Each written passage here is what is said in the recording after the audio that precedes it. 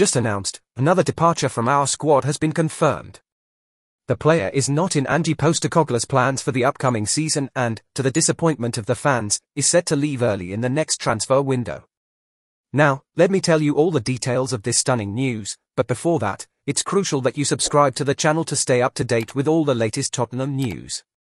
Now, let's get started.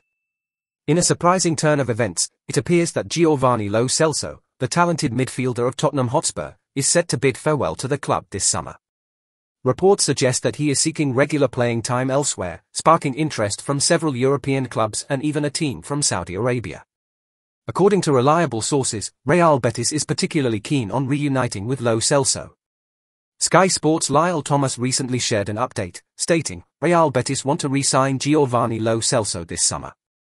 They have shown the most concrete interest so far as he's about to enter the final year of his contract at Tottenham and started just four Premier League games last season. Lo Celso had a successful loan spell at Betis before joining Spurs permanently, and it seems the Spanish club wants to bring him back. The 28-year-old midfielder is open to leaving North London after not being a prominent figure in Ange Postecoglou's plans last season. Despite making 22 appearances, he started only four Premier League matches, contributing two goals and two assists in a limited playing time of 492 minutes. With just one year left on his contract, Tottenham is eager to sell Lo Celso this summer to avoid losing him for free. However, it's not just Betis who are monitoring the situation.